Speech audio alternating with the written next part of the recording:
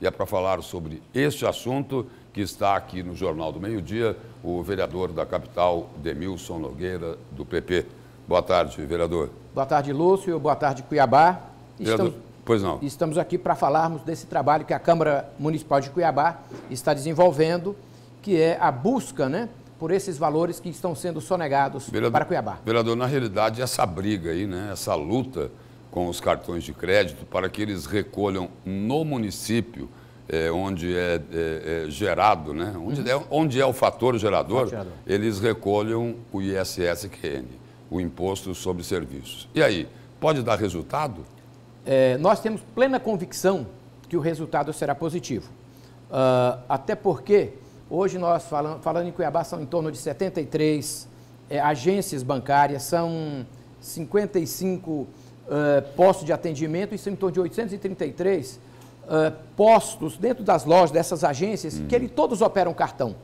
E, e o que nós temos encontrado é que Tem, esses va- tem, tem uma estimativa, um estudo aí é, sobre qual o volume de negócios é, é por mês aqui desses cartões de crédito? Não, não tem. É tudo isso que a CPI está buscando levantar. Inclusive, nós já iniciamos hoje requerimentos junto à Secretaria Municipal de Finanças para saber quais foram os valores arrecadados lá atrás. O que nós sabemos é que hoje há uma perspectiva de uma arrecadação que não chegou aos cofres de Cuiabá na ordem de 200 milhões ou mais. E a CPI pretende mostrar para o município de Cuiabá é, esses valores para que, at- através da PGM, vá, vá buscar esses valores para, é, para Cuiabá. Agora, por que é que as operadoras é, é, elas, elas resistem é, em fazer o recolhimento no município onde é, ocorre o fato gerador do imposto? O que, que a gente está vendo já nesse primeiro momento? Esse primeiro momento nós estamos vendo que alguns municípios no país se oferecem como paraísos fiscais. Nós vamos pegar Cuiabá, a alíquota são 5%. Ou tem municípios, por exemplo, como Poata, 0,05%. Então, eh, isso nós, eh, são- nós conhecemos... Lá é paraíso fiscal ou aqui que é muito caro? Não, lá é um paraíso fiscal. Um paraíso fiscal. Tanto que nós estivemos fazendo uma visita na Câmara Municipal de São Paulo, eh, estivemos falando com o vereador eh, Isaac Félix, que trabalhou nessa CPI junto com o atual prefeito de São Paulo, Ricardo Nunes, e lá eles arrecadaram algo superior a 10 bilhões. E, então, foi, é uma CPI que nós sabemos que vai dar resultado para Cuiabá. Ah, nessa visita, por exemplo, o vereador Isaac nos disse que a visita que eles fizeram a Poá, ah, encontraram uma- um barracão amplo, mais de 200 computadores e um único servidor, dizendo que ali era uma sede de um banco. E ao passo que a sede estava na cidade de São Paulo. Então, Agora, como o volume, o volume de negócios dos cartões de crédito é muito alto, é, a prefeitura pode se dispor a negociar esse percentual do ISSQN, Eu creio que os é de acordos- 5%? Eu creio que os acordos de leniência podem até acontecer. né? Eu creio nisso. Agora, o que a CPI mostra, ela busca mostrar para Cuiabá é o que ela tem que buscar, o que deixou de chegar aos cofres do município. Mas e daqui para frente?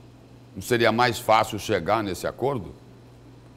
Veja você o seguinte: com o resultado que a CPI vai mostrar, Cuiabá já vai conhecer quais são seus direitos. Então aí é só a PGM estar atento, a Secretaria de Fazenda estar atento para levar adiante Mas, essas mas a cobranças. prefeitura de Cuiabá não sabe há muito tempo o que ela está perdendo em relação aos cartões de crédito, às operadoras? O que a CPI quer mostrar, quer buscar conhecer, é se a prefeitura conhece ou não. Né? Tanto é que nós estamos a fazer esse trabalho investigativo para mostrar ao Cuiabá se realmente ele tem esse direito ou não. A, É. Câmara, a Câmara tem essa suspeita, então nós estamos trabalhando. Vereador, uma outra questão aí que é bastante polêmica aí é sobre plebiscito.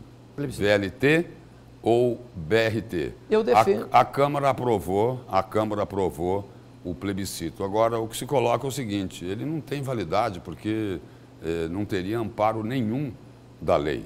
E aí, como é que fica? Hoje o, o inclusive- VLT, é, é, o, o modal, né, é para Cuiabá e Várzea Grande. Correto. Cuiabá que é o VLT. Lá em Várzea Grande o prefeito já disse que, olha, não, a minha decisão aqui é pelo BRT. E aí?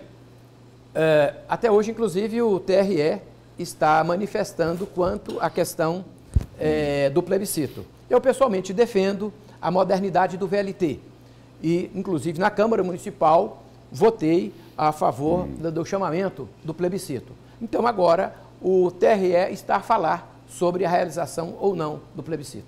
Mas o que a própria lei já diz é de que quem tem competência, autonomia para convocar o plebiscito é a Assembleia Legislativa. Correto, isso que nós falamos. E envolve duas cidades. Duas cidades. Não envolve só Cuiabá. Correto. Como é que faz? É, faz um plebiscito aqui em Cuiabá para decidir sobre VLT e BRT. E aí, como é que faz com o modal lá em Várzea Eu, Grande? cre- eu creio que o TRE consultará as duas, as duas cidades. Eu creio que o TRE fará isso. O senhor acredita que a decisão do TRE vai ser por determinar o plebiscito? Ele está decidindo hoje, né? Eu creio, estava lendo alguma coisa na imprensa hoje, parece-me que caminha para uma decisão quanto à, à realização ou não do plebiscito. Vereador, obrigado pela presença e pelas informações aqui no Jornal do Meio Dia. Estamos à disposição na Câmara Municipal de Cuiabá para fazer o bem por Cuiabá.